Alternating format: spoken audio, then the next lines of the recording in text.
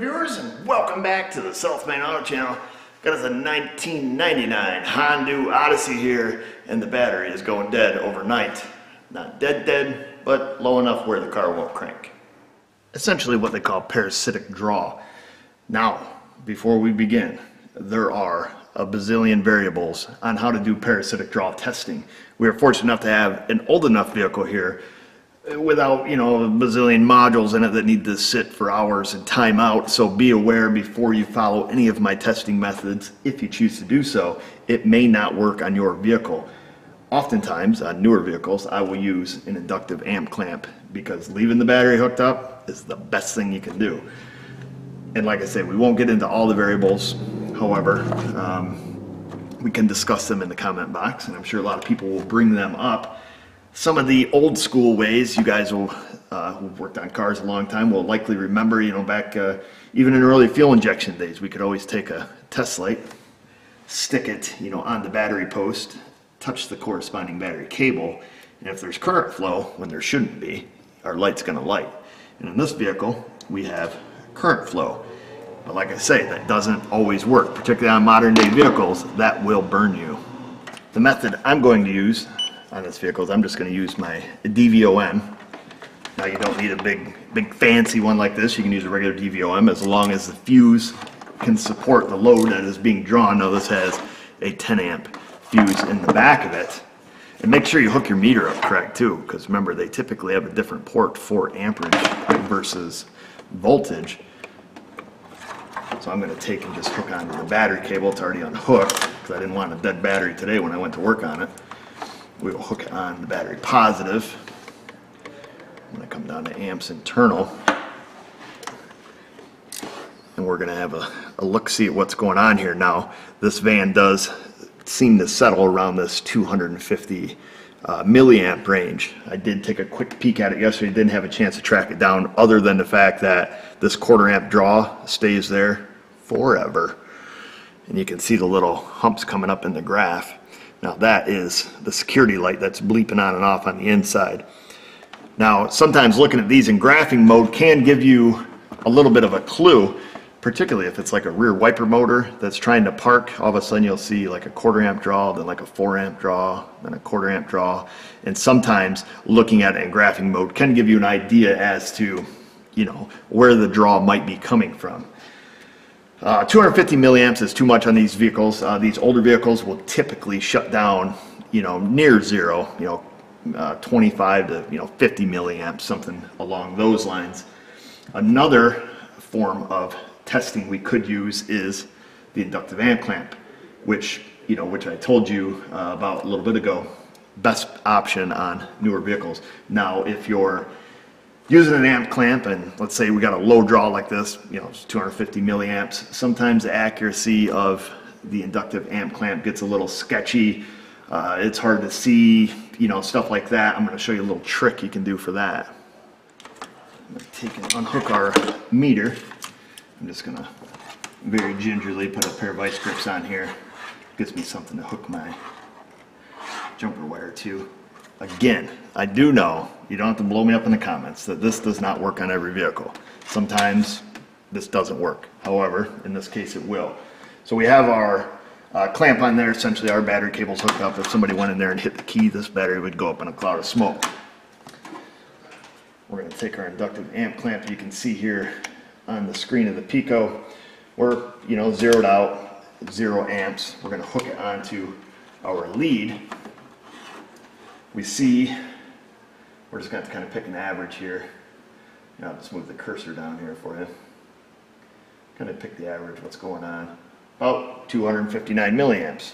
So that's pretty good. Uh, it confirms a couple things. First of all, it confirms the accuracy of our inductive clamp versus what we're seeing on the meter, and that's a good thing to see. Now, sometimes looking at this, you're like, yeah, you know, I'd like to see a little more detail, or I'd like to you know, if I make a change when I'm fiddling with something, I'd like to be able to see it a little easier. So what you can do is make yourself a multiplier. Take your cable, and what we'll do is we'll just put like five wraps in it. So we got two, three, four.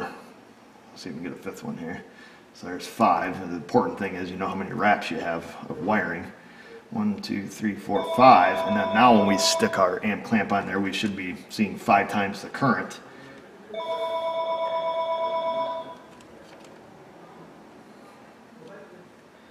sure I'm on there good. Got that kind of in a bad position. Okay, so now let's move our cursor here again. We'll come up here, kind of get our average. 1.2. I'm terrible with math, so if we do, um, let's see, 120, oops, or 1.2 rather, we'll divide that by the number 5. Oops, crap, I put little parentheses things around it, like I'm some kind of, kind of scientist. I'm doing that wrong, divide that by 5, and now we're down, you know, 240. So essentially 240 milliamps, pretty close to what we were actually measuring. So that's just a little trick. Grandma taught me, essentially making yourself a inductive clamp current multiplier. So there is a few couple little tips and tricks for you, how to multiply the current on your uh, inductive probe. So hopefully that is helpful to somebody. I do know it is helpful to me when I'm doing current draws that are that are low and I want to see it in a little better detail or see its change. You know, you can see a dramatic change. Um, so yeah, I guess that's enough rambling and not much in the teaching mood, I guess. At the end of the day, my feet hurt for what it's worth. And with all that stuff being said, we will carry on.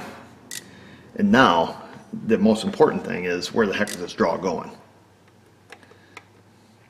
So let's get our meter back up here. We're going to go to amps internal again. Get this back up. When things settle out and turn off inside the vehicle, we're back to our 250 milliamps. What we have to do now is find where the draw is. Of course, that's our main objective. We do know that we have a 250 milliamp draw indefinitely. Hours from now, it'll always be sitting here, you know, 220, 250, somewhere's in that neighborhood. So we're gonna leave our meter hooked up. Here's where there is another bit of variables depending on the vehicle. So you have to kind of know what you're working on prior to what test method you're going to use. Typically, you know, the current's gonna go out some sort of device. It could be leaking in the alternator. So we could take our amp clamp, we could just, you know, throw it around the alternator there or just unhook the alternator, that would be an option. Or the other method is we could use our voltmeter on a millivolt setting and go across each fuse and measure the voltage drop across fuses. Or on this car, it's old enough, we can actually start plucking fuses and then find the circuit it's on, look on a wire diagram, find power distribution, see what that circuit runs, and then take the testing from there. I'm gonna bring the meter right over here. Hopefully you guys can see that. What I'll do is we will just put this in a digital meter. Uh, right there. Hopefully that display will be a little bit bigger for you. Whoa. Alright, so there we are. You can kind of see it over there in the corner. We're going to start with the underhood fuse box. Again, there are variables. You start doing this on a modern day car, it will burn you. You will be chasing your tail. I'm essentially going to go through and just start plucking fuses in a row. Don't care what they run. I'm just looking for one that kills the draw or changes the draw. But like I say, knowing what the fuse is is not important at this point. And again, this is not the method you will want to use on a newer car. Because all of a sudden you just turn the module off, now you just turned it on, and you're waiting again, and you just kind of screwed yourself on that. And there we go, look at that. Right? Yep, now we went over amperage because everything's waking back up. It should drop to 250 here, or thereabouts. Okay, so we're back to our baseline where we started, and we're on this fuse right here, this big 40 ampere. Uh, my gut tells me this probably runs a whole lot more fuses. It's a big 40 ampere. That has taken our draw down to Zippo. stuff that back in just for poop and laughter. I'm gonna finish going through the box here.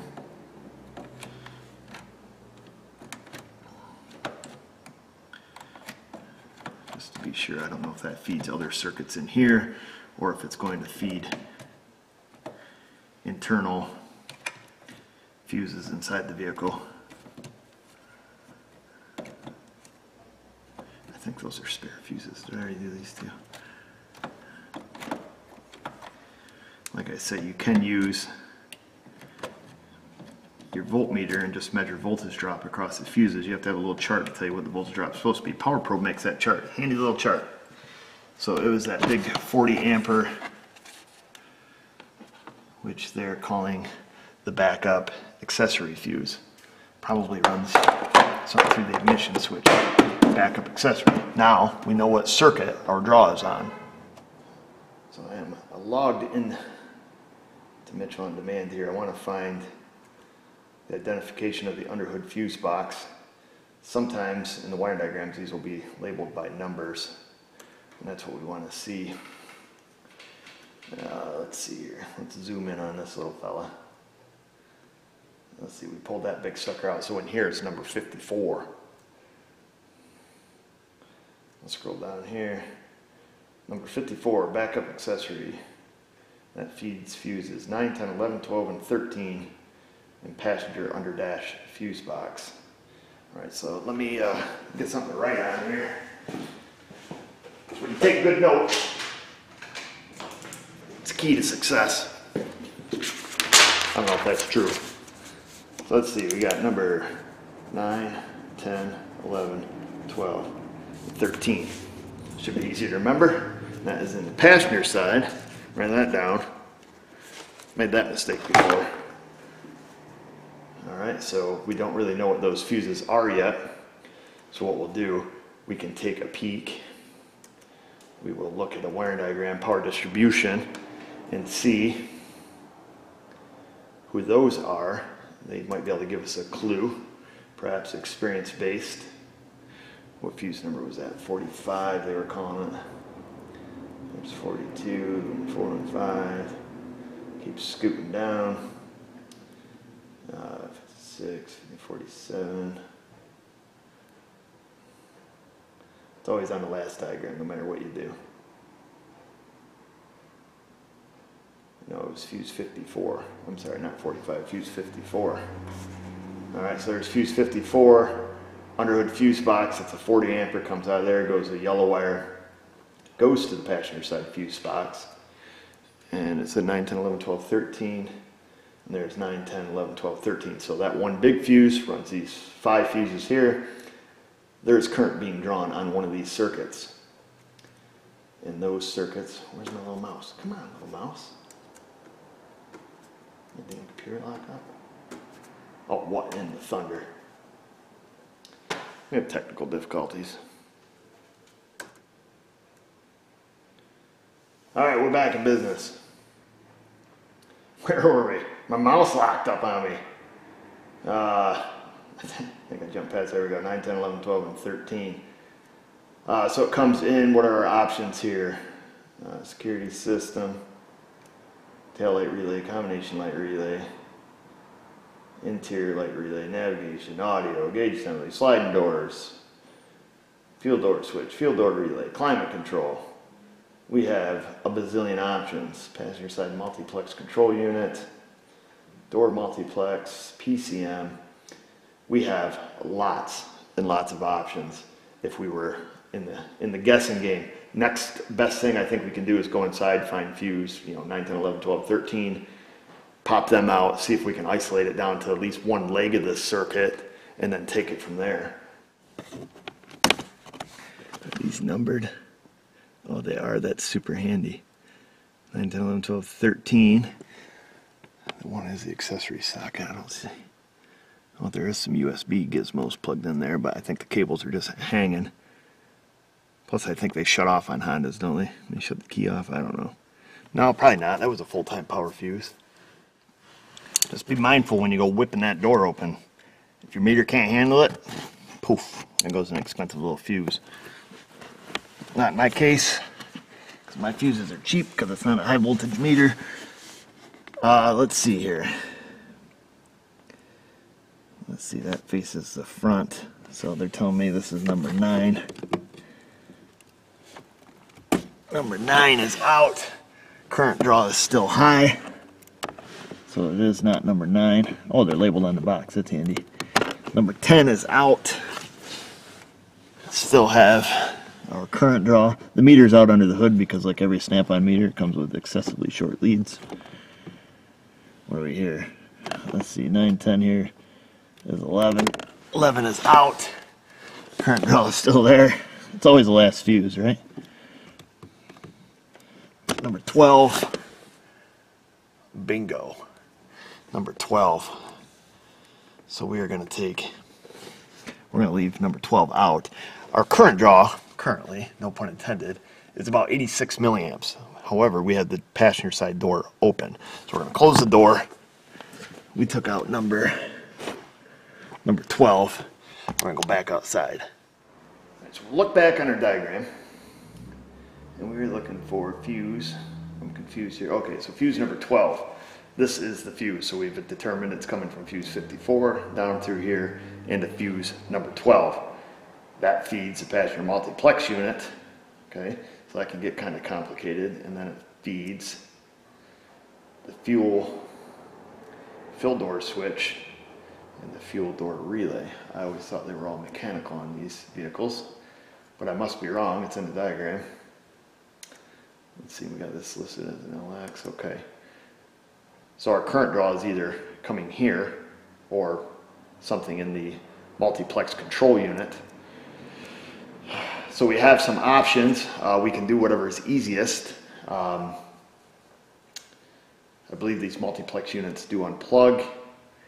We could stir up some, you know, some other issues there. We could find out where this fuel door relay is and uh, fuel door switch and see if the current draw is coming from it and then take our diagnosis from there. So I'm going to do a little dig and see where this, uh, where these things live and then we'll make a decision as to what route we're going to take.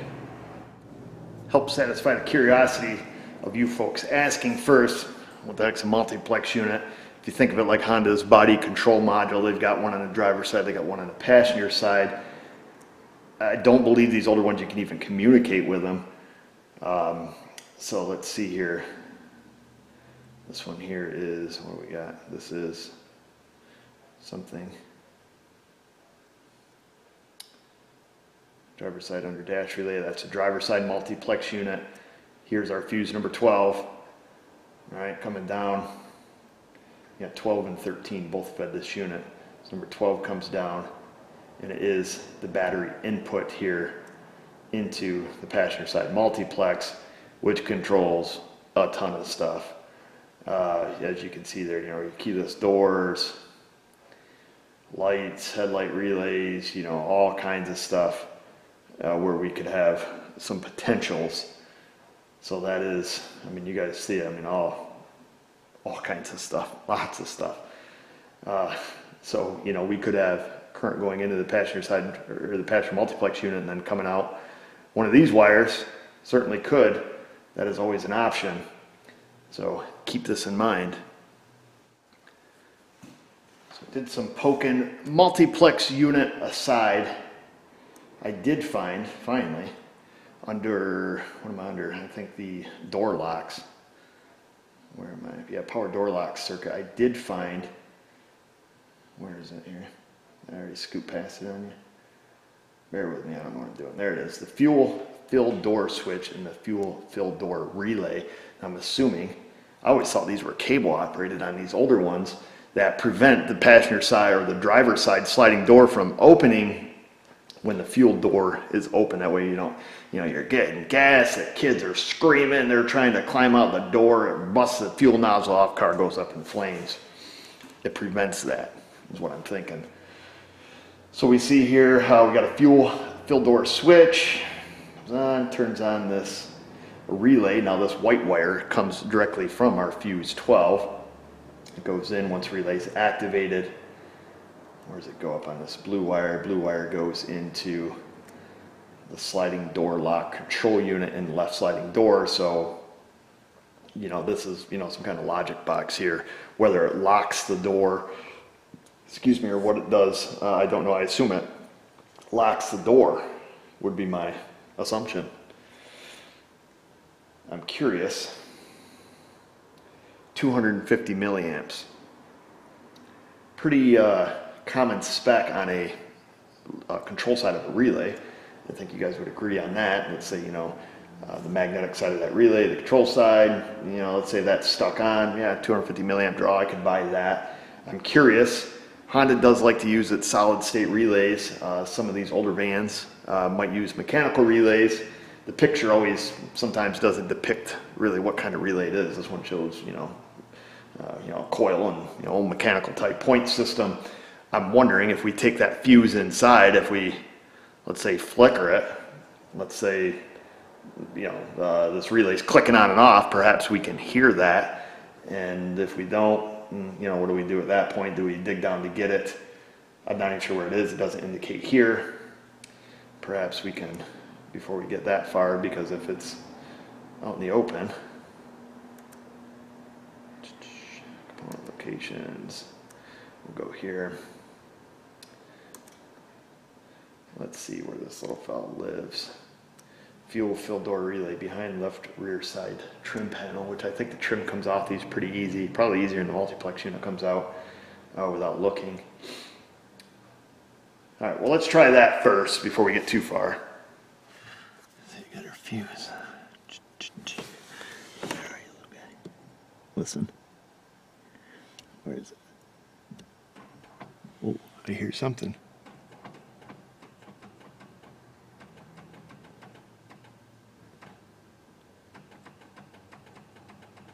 Boy, I'm gonna have to go, uh, ooh, we might have got lucky.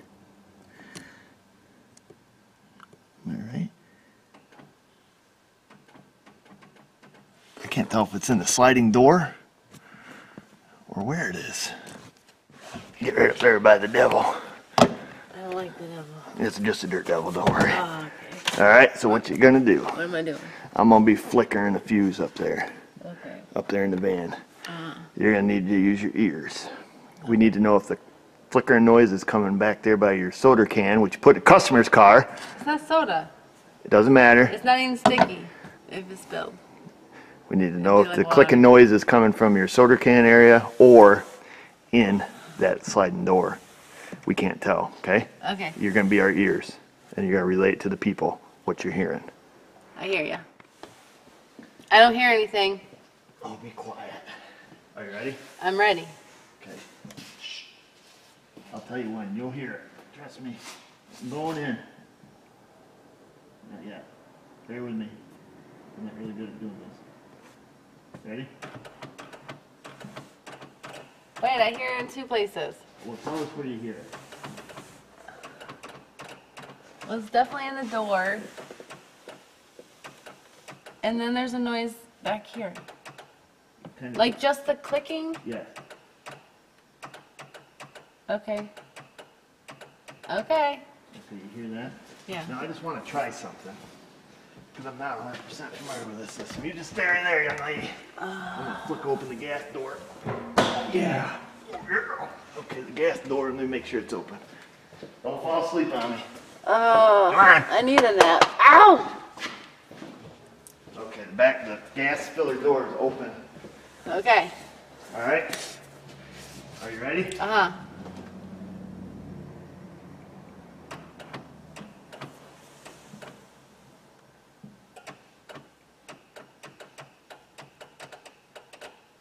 Okay, So it does didn't really does- does- change. Initially, does it start out as two noises?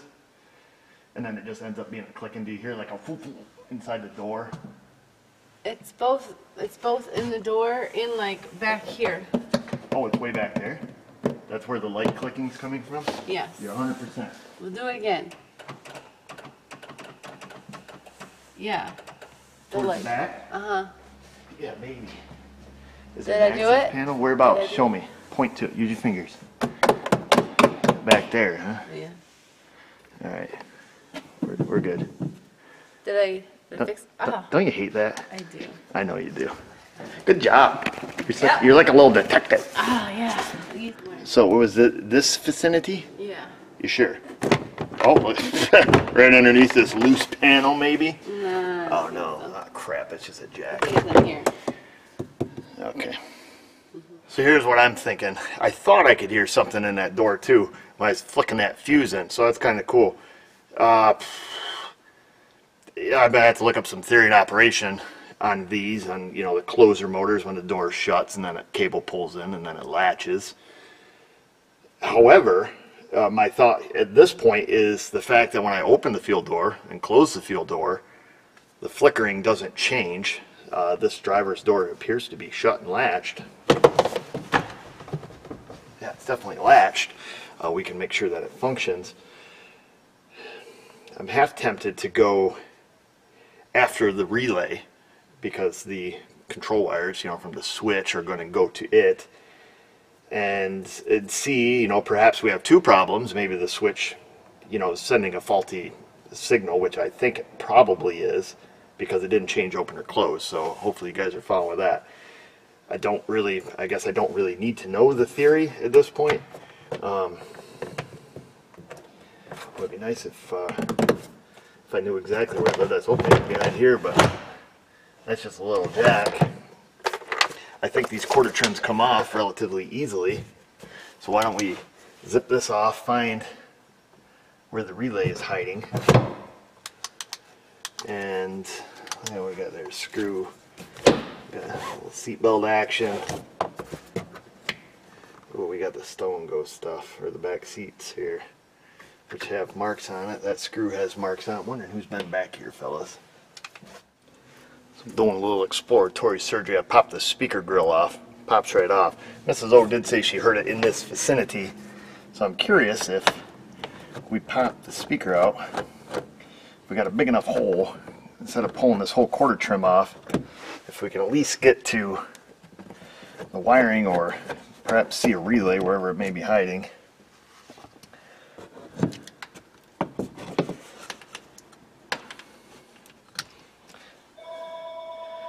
that little guy off. Let's get our light. Ooh. Lucky, lucky. Oh, that sucker is way down yonder. Way down here. Way down there. There's a relay holder with a relay down down here and about in there. Of course, you can't see my fingers, but it is way down at the bottom. I don't know if I'm going to be able to reach that with my digits. Oh, what do I got in my shirt pocket? Oh, somebody's keys. That is a bad, bad habit, Mr. Jones. Oh, actually, they're the keys to this car. Never put keys in your pocket. Okay. Let's see. Oh, I can just get to. I don't even know if this is our relay, but we're gonna give it a go. Oh, come up out of there. Yeah. So that's a relay. I don't even know if I got the fuse in it still. Let me go put the fuse back in it. I put the fuse back in it. Let's see if this goes this direction. It's a double donger holder. It's in the farthest one. Don't drop it, little buddy. I just want to see if it clicks.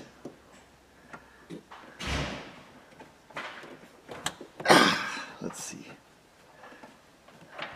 This is pretty difficult to do blind here. Here we go. You ready?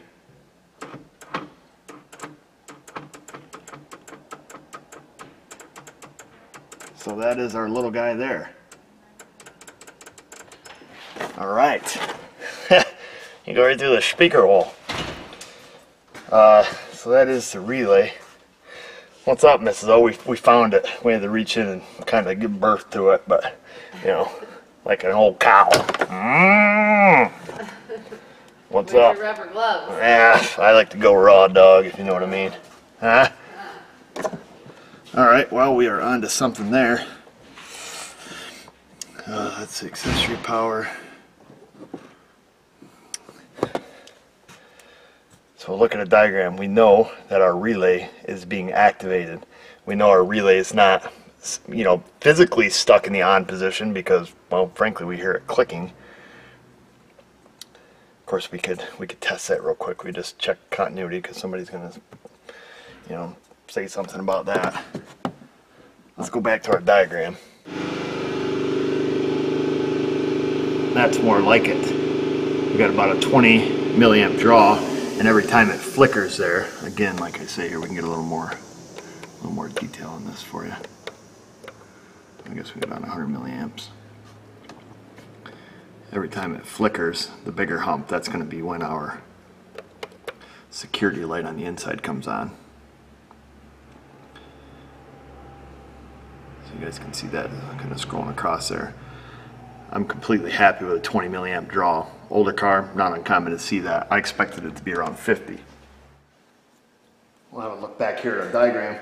So here is the fuel fill door switch. It is fed a full-time power. I have to believe that once the fuel fill door is closed, the switch is open as indicated here in the diagram, because it wouldn't make sense that, you know, current was passing through it at all times, so let's assume it's open. And then when you open the gas door, you know, it makes the connection here through the switch, comes down to the green wire, turns on our relay, which is what we're seeing. Um, so at this point, I would have to believe that our fuel fill door switch is faulty, making our relay stay on all the time. And, uh, you know, essentially that's sending, you know, a command to this sliding, uh, what do they call it, sliding door lock control unit, uh, which this may, this may goof up the sliding door there. Of course, it's gonna have the potential, if you've got the gas door open and somebody opens that passenger driver's door, you know, that's gonna be, could be an issue. However, this is an older guy, um, who doesn't have any children, just him and his dog. I don't think he's gonna have that problem. I'm gonna leave the option up to him, how he wants me to proceed. Leave the relay out, forget about it. Or I'm gonna recommend to him fixing the fuel door switch and, uh, take it from there. Now, I do know that he had mentioned to me his head has been having some problems with the power sliding doors and actually thought that was part of his draw. Uh, so he had had the switch turned off to him. Um, so I guess, short of talking to the customer, that is, that is my best assessment. The switch is faulty. It's leaving the relay engaged. Um, right? That's pretty much all it can be because that relay needs its power side switch has a constant ground. It needs power sent to it through that fuel door switch. Now, granted, this circuit here could be shorted to power. That is the other variable. Highly unlikely, uh, but it is the other variable. Uh, fuel filled door switch is the most likely culprit and highly likely our cause. Short of tearing the quarter panel off, 100% verifying that that circuit is not shorted to power uh, would be the only way to be 100% definitive. We're 95 right now. Amperage draw is still very low, that's good. What's interesting, this door is, hear that humming? Yeah, this rear latch is not functioning as it should. Comes open. It will mechanically latch, however, it will not electronically release. Yep, and then it gives us our warning beeps. Okay, and then that side over there. Stop that halfway. Close that, that door should pull in and latch. So you can hear that one latch. Okay. So that's pretty interesting. He's got two issues going on here.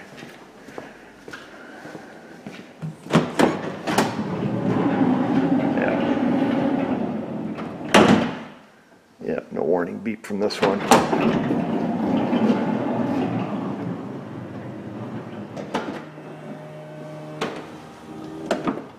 And then this door latches, so, okay. So he's got two issues going on here. We got the fuel door problem, and then we have the rear latch problem or closer motor. I don't know why Honda calls them the closer motor because the cable motor that actually opens and closes the door is completely separate. Give you an idea what these look like. This is actually from Mrs. O's van. I got, Well, I guess we can do show and tell on the whole shebang, because apparently her van needs a new hinge too. Um, Parked that bought for a while ago. So this is the roller hinge assembly. I think on this car, one, you're gonna find one of these upper rollers has gone bad and allowing it to go all cattywampus in there. Not uncommon. And then, here, now it's gonna be a little different on this van before you blast me in the comments. Here is the rear latch, you know, these sit inside the door. And then, of course, you've got all the electrical mechanism that can operate it electrically and then the actual mechanical cables that go to the handles and locks and so on. You know, like here. I actually did a video on this. But the video footage was lost, unfortunately. It was on a laptop that I had that the hard drive crashed and we recovered, well, the actual laptop crashed like off my desk and it ruined a spot on the hard drive and we were able to get almost all the data off of it except for a few things, one which included how to replace one of these. So that's kind of why I've been saving this one because I want to do it again. Because I already did the one door on Mrs. O's van. And now I have to do the other, because it will randomly pop open. Just the rear latch. The door doesn't pop open like, you know, kids falling out in the street pop open, but it pops open nonetheless. And then the alarm goes off and all that stuff. I think I've had this for about a year. So we'll go put this back on the shelf. We're gonna leave it at that for right now, folks. It's a smidge past five. The guy wants his car back for his evening cruise. I'm gonna leave the relay out. It's kind of redundant to put it back in because it's not functioning anyways and it's just killing the battery. Give him the choice to see if he wants us to tear into the driver's side sliding door, fix, you know, the lock actuator there, the closer latch, whatever you want to call it. Get that problem resolved and uh, because obviously it can't disconnect itself electronically, you know, by pushing the button, you know, you have to pull the handle mechanically. Yeah, maybe he'll just leave it like that, I don't know. But the power door lock on it doesn't work either. So there's, you know, obviously some issues going on there that could be resolved. It's up to him. Like I said, it's just him and his dog. So maybe he won't fix it. Same thing with the field door. Eh, you know, don't open the door, I guess, when you're getting gas. How's that sound? Way it used to be in the olden days when you used to have to think. But I'll leave it all up to the customer. It's his call at this point. I diagnosed it. Here's what the problems are. We'll take it from there. If I do get the job to fix this, I will bring you guys along so you can see what's going on, how to fix it. I don't really know. I'm sure it lives back there in the quarter panel. We're gonna have to pop that off and, you know, get the new switch in there, whatever, whatever we gotta do. I don't know. It doesn't matter. What does matter is that you go down there and click that subscribe button, ring the bell, find us on our socials, find us on Patreon. And just remember, viewers, if I can do it, you can do it. Thanks for watching.